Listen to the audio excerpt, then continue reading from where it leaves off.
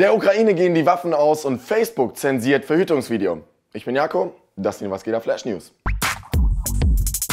Gestern haben türkische Sicherheitskräfte an der Grenze zu Syrien mit Tränengas und Wasserwerfern auf Kurden geschossen. Die aus Syrien kommenden Kurden setzten sich mit Feuerwerkskörpern zur Wehr. Warum es zu der Auseinandersetzung kam, ist noch nicht eindeutig geklärt. Am Freitag hatte die türkische Regierung dafür gestimmt, acht Grenzübergänge zu Syrien zu öffnen. Seitdem sind laut den Angaben der Vereinten Nationen bereits 100.000 Kurden in die Türkei geflohen. Die Kurden sind auf der Flucht vor den Kämpfern des Islamischen Staates. In den letzten Wochen hatten diese immer mehr kurdische Dörfer eingenommen und die Bewohner vertrieben vertrieben oder sogar getötet.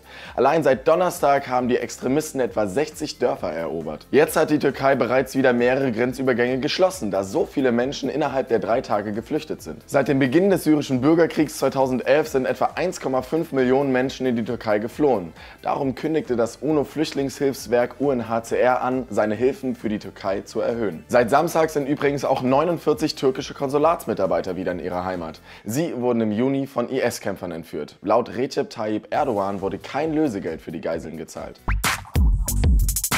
Die ukrainische Armee hat zwei Drittel ihrer Waffen verloren. Das gab der Präsident Petro Poroschenko bekannt. Etwa 60 Prozent der Waffen wurden durch die Kämpfe mit den prorussischen Separatisten zerstört. Poroschenko baut jetzt auf die USA und auf Kanada, die versprochen hatten, Waffen zu liefern. Der Präsident betonte, dass sein Land den Frieden dringend benötige. Außerdem sei der Konflikt mit den Separatisten nicht militärisch zu lösen. Denn je mehr ukrainische Soldaten stationiert werden, desto mehr russische Truppen würden folgen. Am 5. September hatten sich die ukrainische Regierung und die Rebellen eigentlich auf eine Waffenruhe Peru geeinigt. Allerdings ist diese nicht wirklich zuverlässig. Jetzt am Samstag wurde dazu ein neuen Punkteplan aufgestellt, der unter anderem eine entmilitarisierte Pufferzone beinhaltet.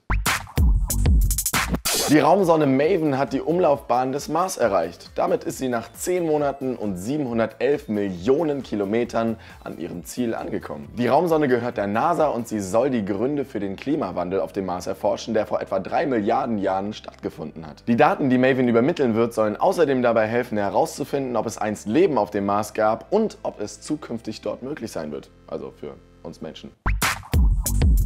Am Sonntag gab es die weltweit größte Klimademonstration aller Zeiten. Mehr als 300.000 Menschen gingen allein in New York auf die Straße. Die Demonstranten forderten mehr Klimaschutz. Auch Leonardo DiCaprio, Sting und Edward Norton gehörten zu den Protestlern. Insgesamt gab es am Sonntag etwa zweieinhalbtausend Kundgebungen in 160 Ländern.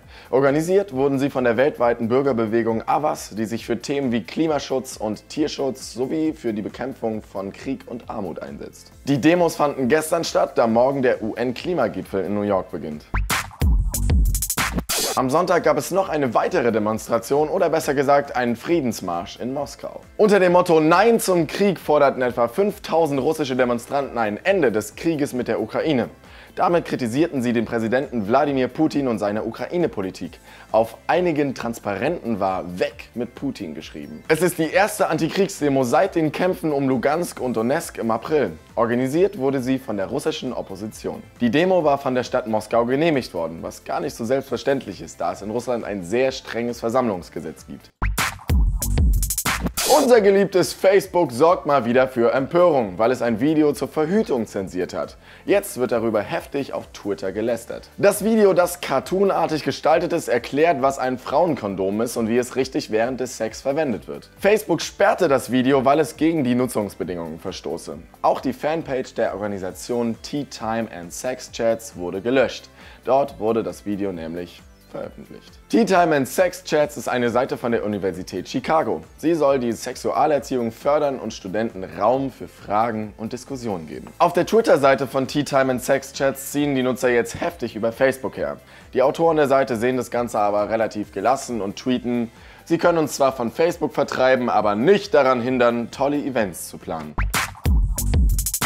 So, und zum Schluss wie immer noch ein paar kleine Fragen. Findet ihr denn, dass die Türkei ihre Grenzübergänge offen lassen sollte? Interessiert ihr euch für Klimaschutz? Und was sagt ihr zu Facebooks Zensur? Schreibt es mal ganz untendiert unten in die Kommentare rein. Ansonsten gibt es dann hier wie immer noch zwei weitere Videos. Unter mir könnt ihr abonnieren. Hier gibt es dann Textkalibur und alle weiteren Social Media Links und meinen Kanal unten in der Videobeschreibung. Das waren die Was geht ab? Flash News. Und ich bin irgendwas anderes jetzt machen.